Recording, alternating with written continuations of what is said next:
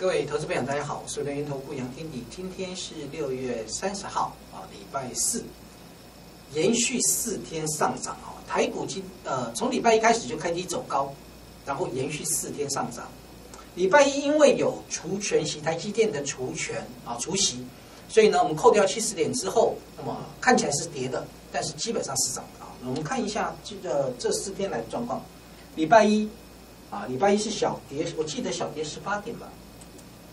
对，礼拜一跌十八点啊，但是你要加回七十块啊，那台积电除息，这个扣掉了这个七七十点的左右，所以基本上就是礼拜一其实是上涨啊，不管礼拜二涨、礼拜三涨、礼拜四涨，连续四天上涨。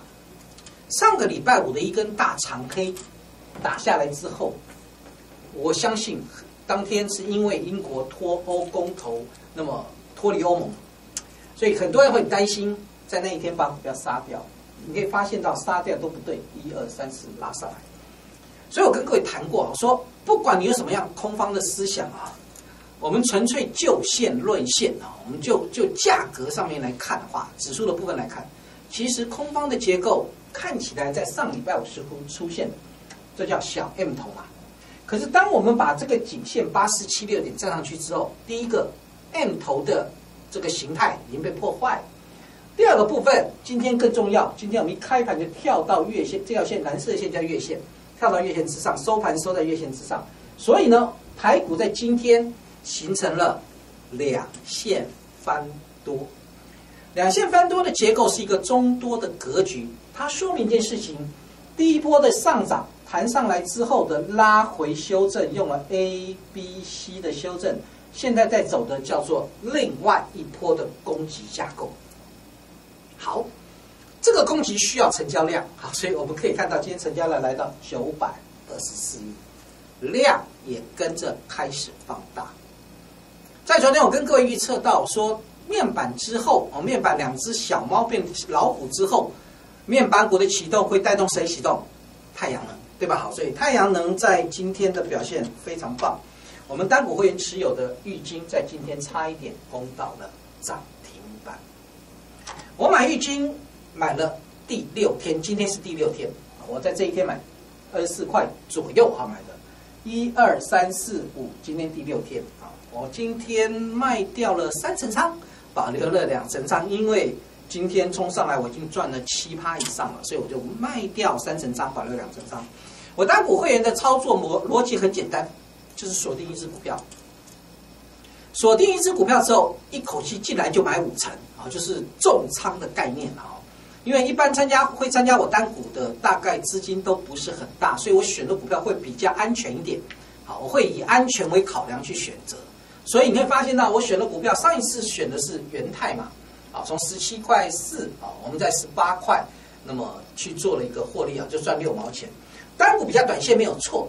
但是单股如果它的股价可以涨一个波段，我会保留两成仓。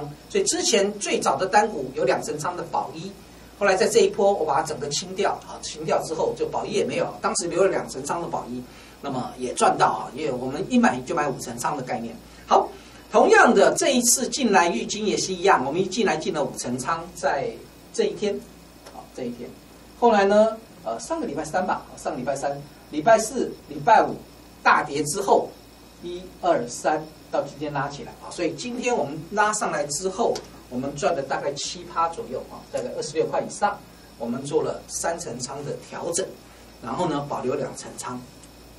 单股的操作有几个原则，第一个叫七天原则，就是我买进一档个股之后，我在七天之内绝对会把它处理掉。第二个原则叫十趴基础，当我的股票涨到十趴以上之后。我会保留两成仓做波段啊，这次没有没有达到十趴了，大概七趴多。那为什么呢？因为我时间被被压迫了，我的时间我已经持有第六天了啊，所以我因为时间的关系，所以我在早上急冲的时候，我先卖三成，保留两成，啊，所以我有七天原则跟十趴基础，因为我希望资金比较小的投资朋友，你能够集中火力，而不是分散的概念来买。譬如说你一百万啊。你一百万以下的一个资金，我建议单股的部分，我用五成仓进去，就五十五十万进来。五十万进来之后，那么在今天我们获利三十万，啊，获利三十万的部分保留两二这个两成仓的部分再往上，让它再往上走啊，这是一个操作的观念。好，太阳能起步，其实我的想法就是实户区回来了。面板的走高叫做大业内，好，大业内，大业内很凶悍啊！昨天的友达群创，今天的友达一样持续涨啊。因为面板我不太，因为它的不太能买了哈。我我想法是不太能买，因为它没什么爆发力啊，这纯粹就是一个轮动的姿态。包括太阳能，我也不觉得它有太大爆发力。但是呢，我买它价值，我买太阳能的价值，因为它价格低了嘛。好，所以同样的面板出来之后，太阳能出来，好，这叫价值的股票往上走。价值股票往上走之后会产生什么现象呢？会产生从价值到成长，所以呢，你会发现到成长股在今天动。成长股谁动？爱人同时在今天拉到快涨停板。好，盘中一度来到一百五百一十九块，你记不记得时间倒推回去一个月前？五月十七号，当杨老师跟你讲同志他从成长变成价值可以买的时候，你现在回头想一想，五月十七号当时最低点是三百二十三，我们的平均成本在三百三，三百三五月十七号最低三二三，到今天来到五百一十四。那你回头想一件事情哦，那这样的暴跌不是让你买的时候，所以你有没有我这个影响就非常大啊，这影响就非常大。所以，当我们在敢敢于在低档做切入的时候，我不会一个震荡就被它洗掉。你只要会让我赚钱，我就会一路报上来，我会一路的报上来啊！现在已经完全要填补掉所有的空方缺口了。所有的空方缺口，之前四只跌停里面，目前已经填掉了大概三只了。你看哦，好，好，这个第一只跌停板，两只、三只，哦，四只，算五只跌停了。好，这打了五只跌停板下来。现在已经填了快四只回去，所以你回头想一件事情：当股价打到低点的时候，它是不是一个切切入点？它当然是一个切入点。问题是你不知道怎么切入。所以我跟各位谈过啊，我说怎么做才是对的？从价值到成长。如果我带你买的股票，它具备了价值的概念，你买起来会不会安心？因为我的诉求，我带会员的诉求是买的安心，才能抱着放心。如果我买的点位太高，那我就会非常的不安心嘛，啊，所以同样的，如果我买的点位够低，我就会比较安心。所以同样的，在目前的位置当中，如果我跟各位谈两线翻多，代表中多的结构起来，你现在要做的动作是什么？趁大家都还没注意，开始逢低去做承接的动作。那你要怎么做呢？价值股我跟各位讲了很多了，包括三零七八的乔威，好，乔威的股价走势已经大涨一段上来，好，我们买在二十五块半。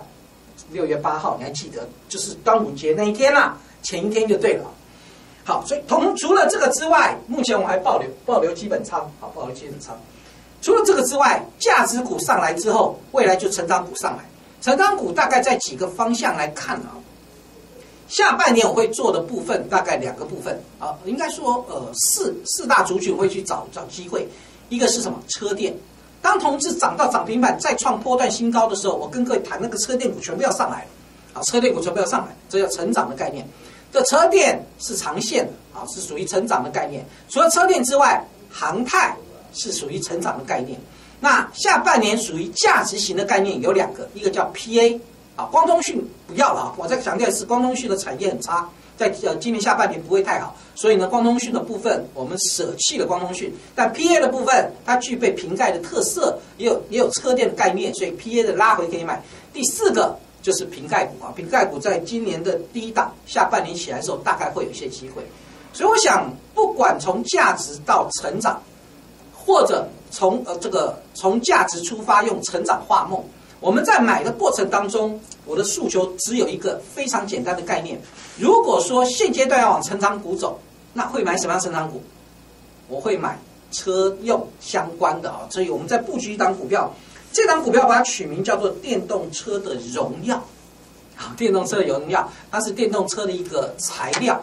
那这档电动车的材料呢，具备一个很重要的概念啊。这个概念在于什么？它跟日本的大厂合作，合作之后呢，那么切入到你上的一个这个领域里面。所以我想，这两个股的一个走势，那么基本上我在做布局。有兴趣的投资朋友，可以跟上这一次布局的脚步。谢谢收看，明天同时间再见，拜拜。